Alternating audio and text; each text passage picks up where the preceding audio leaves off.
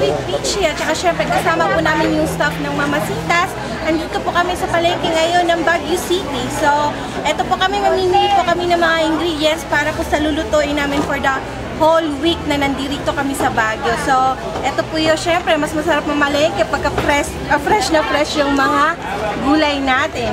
So, kita nyo po, dyan sa mga supot nila, nakalagay na po yung mga presyo. So, ewan ko na lang kung tatanga-tanga pa kayong magtanong ng presyo dyan.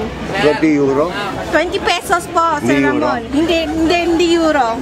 Tapos, 20 pesos po. Sarap ng Oo. sarap. Peso. Kasama namin si Chef Andro. Oo. At saka syempre si Miss Peach, Peach at saka Peachy. Oh, di dalawa kami. Hello. So, Sa inyo. para po magbigay sa atin ng tip kung paano po mamili ng mga fresh na ricados. Kaya yun. Pwede magulan. Oh, fresh na mga gulay. Eh, mas, mas lucky po na nandito yung mga kababayan na natin na nasa Pilipinas kasi ang bilis hanapin ng mga ricados na lutong Pilipino. So, tanungin natin si Chef Andrew. Chef, ano naman natin nyo? Ano rin, you can come a bit here? Kasi wala tayong mic, medyo mahirap makarating doon yung boses natin. So ngayon dahil marami nga pong ano, gulay dito sa Baguio, so marami tayong gulay na pamimili para sa ating mga lulutuin.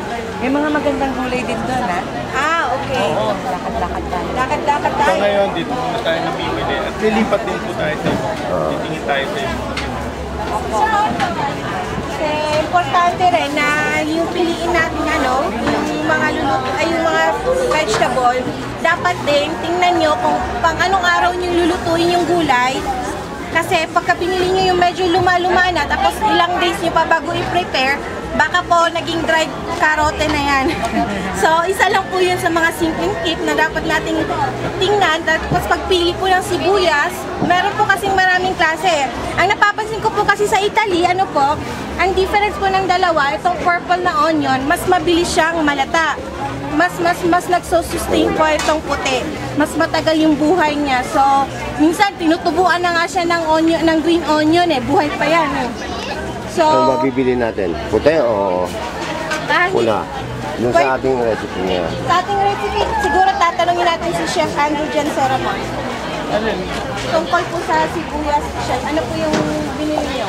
Ang pinili ko yung pula. Ah, pinili pula. po. Oo. Pa, dahil mas mabango, Malasa. Ah, mas malasa at mas malinamnam according kay Chef Andrew, yung pula. So, yun po. Yun na po muna sa ngayon at mamaya po pupunta tayo doon para sa mga karagdagan tips. Okay, dito po kami sa medyo mas unahan pa mula doon sa pinagpunan natin kanina. So, kita nyo, ang sarap po ng fresh mushrooms nila dito. Bibili tayo niyan for clear mushroom Room soup. soup. Ah, okay.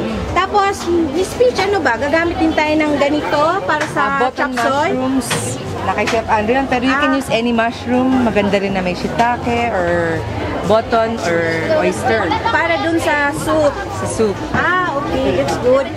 So, para po tayo mga kababayan, maraming matutunan galing sa ating mga kasamahan chef dito Ano kasi yun, sir? mga professional yan sila. Oh, ganda ng carrots. Nilalanggam.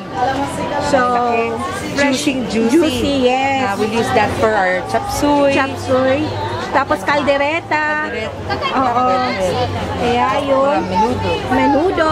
Ayun. Kasi yung prepare po natin hanggang nandito po kami sa Baguio ay yun po talagang mga kilalang lutong Pilipino na pwede nating gamitan ng Mamasitas product na ituturo namin sa inyo, sa inyo kung paano po pasimplehin yung pagluto ng mga pagkain Pinoy.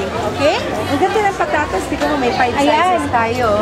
May malaki, mas maliit. Medium, small, smaller, and May baby pa. baby yung ano, potatoes. baby potatoes. Five sizes. Saan po masarap iluto yung baby Ah, ang potatoes? baby Miss potatoes Peach? kasi normally hinahalo namin yan pang garnish sa roast chicken. Ah, okay. Sa roast beef. Ugasan mo lang, hindi mo nababalatan. Tapos paikot dun sa manok. Manok. Sabay na siya maluluto. Ah, okay. So, napakasimple lang po pala i-prepare niyan. Hugasan lang daw po ng mabuti, tapos pwede na po siyang pang-accompany doon sa roasted chicken. So, ayan po. Marami pong nagagawa. So, hanggang mamaya po. Okay, meron po kaming napaka last thing na i-share sa inyo, ito po yung mga frogs nila dito. Diba? So, hindi nga lang marunong paano lutuin yan. Tapos yung live catfish nila, at saka yung mga talangka, tahong, may tumatakas na na talangka. Sabi po, ano po yung kwento niyo, Miss Fish, Masarap regarding... kainin yung talangka, burong talangka.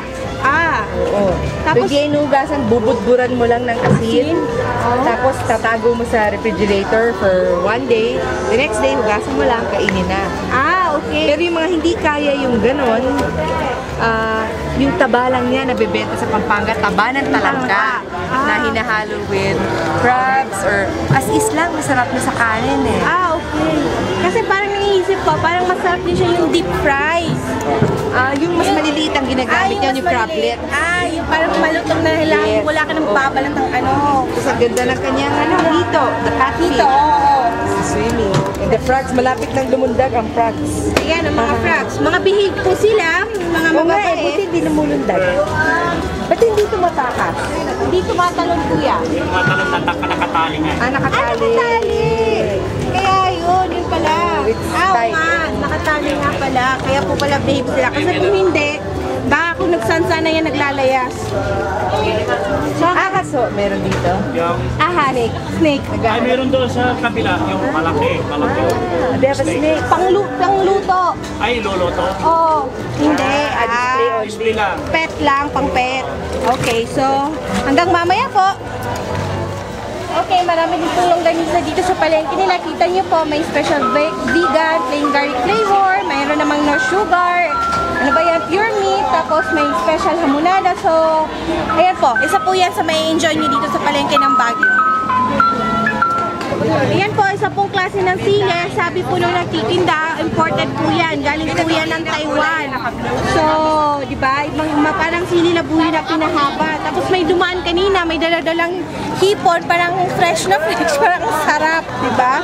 So, talaga mamimiss niyo Pilipinas.